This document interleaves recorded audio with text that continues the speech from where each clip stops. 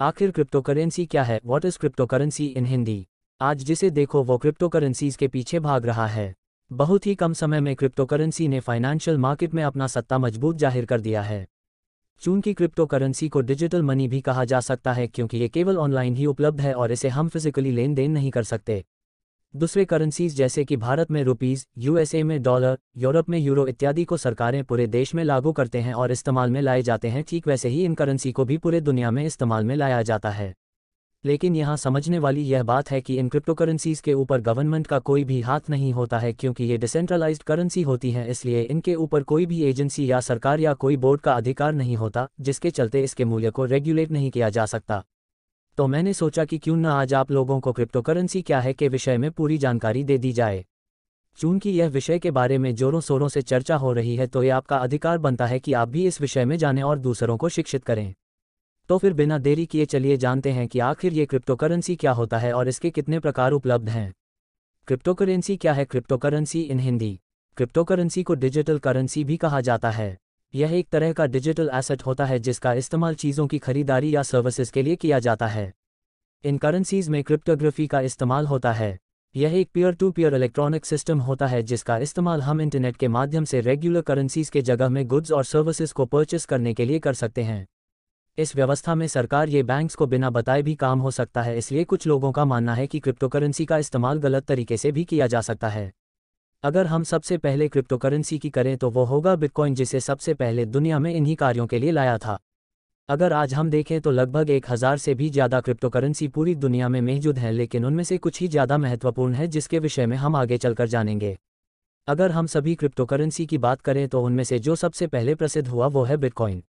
इसे सबसे पहले भी बनाया गया था और इसे सबसे ज़्यादा भी इस्तेमाल में लाया जाता है। बिटकॉइन को लेकर काफ़ी कंट्रोवरीज आई, लेकिन आज में बिटकॉइन क्रिप्टोकरेंसीज में सबसे ऊपर स्थित है।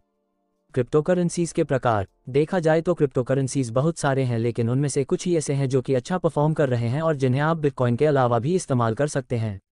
एक बिटकॉइन अगर हम क्रिप्टोकरेंसी की बात करें और बिटकॉइन की बात ना हो, तब तो ये बिल्कुल भी मुमकिन नहीं है।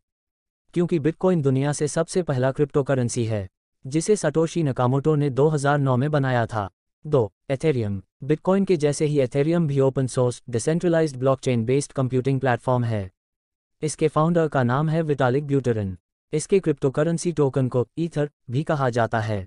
तीन लाइट कॉइन लाइट कॉइन भी decentralised peer to peer cryptocurrency है, जिसे कि एक ओपन सोर्स सॉफ्टवेयर जो कि रिलीज़ हुआ है under the M I T X eleven licence के अंतर्गत अक्टूबर 2011 में चार्ल्स ली के द्वारा, जो कि पहले एक गूगल एम्प्लॉय रह चुके हैं। चार, doggy coin, Doge. Doggy coin की बनने की कहानी काफ़ी रोचक है। इसे बिटकॉइन को मज़ाक करने के लिए कुत्ते से उसकी तुलना की गई, जो आगे चलकर एक क्रिप्टो करेंसी का रूप ले लिया। इसके फाउंडर का नाम है बिली मार्कस। लाइट कॉइन की तरह ही इसमें भी स्क्रिप्ट एल्गोरिदम का इस्तेमाल होता है। पाँच, बिनेंस कॉइन। यह crypto currency Binance crypto exchange की मूल क्रिप्टो करेंसी है, जो वॉल्यूम के हिसाब से दुनिया का सबसे बड़ा एक्सचेंज है। बिनेंस को केवल 2017 में लॉन्च किया गया था लेकिन अपने प्लेटफॉर्म पर व्यापार को सुविधाजनक बनाकर बहुत तेज़ी से विस्तार किया। क्रिप्टो ने 2017 में अपनी कीमत से एक लंबा सफ़र तय किया है जो कि सिर्फ़ 10 सेंट था जो 3 जनवरी 2022 को 5,200 प्रतिशत पर बढ़कर 5,200 प्रतिशत हो गया। क्रिप्टो करेंसी के फ़ायदे। अब चलिए कुछ क्रिप्टो करेंसी के फायदों के बारे में जानते हैं। क्रिप्टो करेंसी में फ्रॉड होने के चांसेस बहुत ही कम हैं। क्रिप्टो करेंसी की अगर बात की जाए तो ये नॉर्मल डिजिटल पेमेंट से ज़्यादा सिक्योर होते हैं। इसमें ट्रांजैक्शन फ़ीस भी बहुत है, कम है अगर हम दूसरे पेमेंट ऑप्शंस की बात करें तब।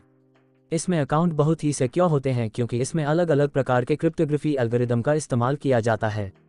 क्रिप्टोकरेंसी के नुकसान। अब चलिए कुछ क्रिप्टोकरेंसी के नुकसान के बारे में जानते हैं। क्रिप्टोकरेंसी में एक बार ट्रांजैक्शन पूर्ण हो जाने पर उसे रिवर्स कर पाना असंभव होता है क्योंकि इसमें वैसे कोई ऑप्शन ही नहीं होती है। अगर आपका वॉलेट के इट खो जाती है, तब वो हमेशा के लिए खो जाती है क्योंकि इसे दोबारा प्राप्त करना संभव नहीं है।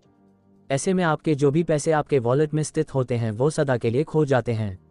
आज आपने क्या सीखा? मुझे पूर्ण आशा है कि मैंने आप लोगों को क्रिप्टो करेंसी क्या है? क्रिप्टो करेंसी इन हिंदी के बारे में पूरी जानकारी दी और मैं आशा करता हूँ आप लोगों को क्रिप्टो करेंसी के बारे में समझ आ गया होगा।